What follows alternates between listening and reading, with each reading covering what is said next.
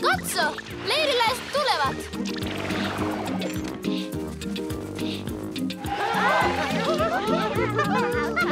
Heippa kaikki! Tervetuloa Jetileirille! Eikö olekin kiva tutustua jetiperinteisiin? Ai, onko tuokin jetiperinne? On se!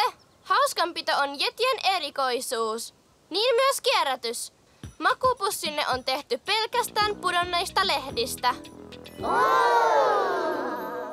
Ja herättyänne saatte niistä terveellisen aamupalan.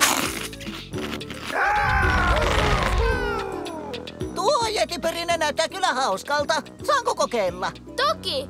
Ottakaa kukin jetikamu ja pitäkää hauskaa! Tämä on mahtavaa!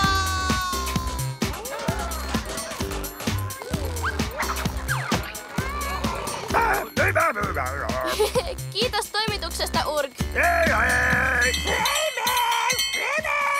Jetiruokaa tarjolla! Ah, kaikki näyttää syötävän hyvältä.